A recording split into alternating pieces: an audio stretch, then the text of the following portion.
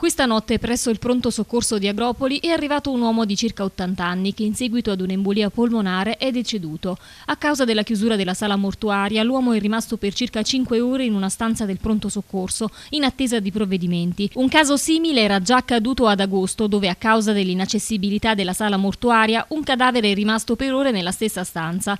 L'appello all'ASL di Salerno e al commissario Antonio Postiglione è di ripristinare al più presto il servizio sanitario agropolese che il 15 settembre settembre vedrà nuovamente la chiusura del pronto soccorso.